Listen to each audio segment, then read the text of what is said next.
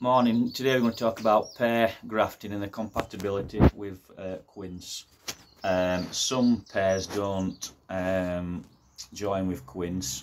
Uh, Cambium layers just don't match up and you need to graft with um, pear seedlings. However, there's a vast list what do. We're talking Beth, Onward, Invincible, Comice, Louise Bonne Jersey, Red Anjou, uh, Packham's Triumph, and um, you also can interstem uh, which is double grafting but we'll talk about that in another video. So today we're going to be grafting Colombian Red uh, which I'll be selling on uh, eBay and my uh, website but it's uh, the only ones in the country it's red Anjou and uh, beautiful bright red pear so we've got red Anjou here from waxed at both ends. We'll chop the bud off the bottom um, behind a bud and then we'll chop it at the top. Then we'll again do the whip and tongue.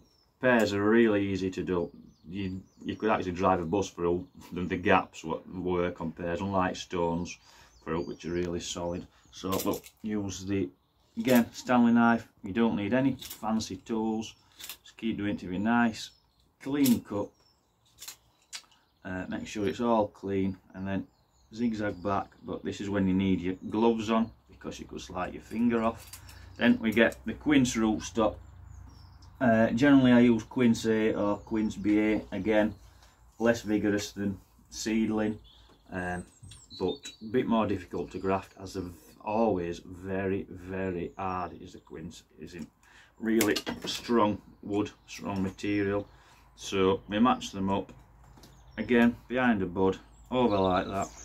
Make sure not near anybody. Near anybody. Now working away from yourself again and back to you into yourself like that. Just rock it backwards and forwards to get the little tongue in. Then we marry them up. Can see. A nice clean cut together. Get again nothing special get your electrician's tape. Plonk it round. Like that. And pull it as tight as possible. And then just release that late summer.